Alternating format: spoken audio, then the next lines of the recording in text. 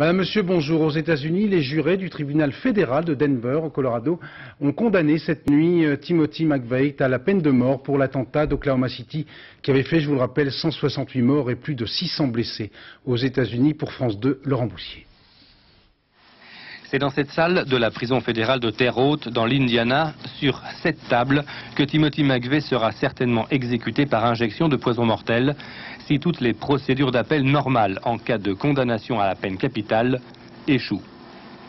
Après deux jours de délibération, les douze jurés du tribunal de Denver ont donc condamné à mort l'homme qui a été reconnu coupable du plus terrible acte de terrorisme jamais commis aux États-Unis.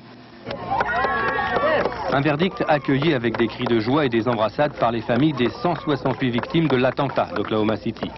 Un verdict qui était réclamé par 68% des Américains.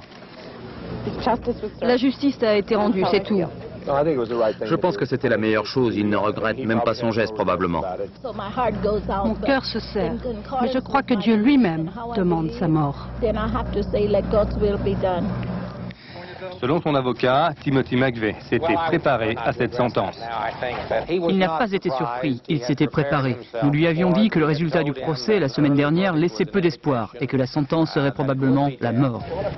À 29 ans, Timothy McVeigh, américain ordinaire devenu terroriste, va maintenant rejoindre dans les couloirs de la mort les 3200 autres condamnés à mort américains qui attendent leur exécution.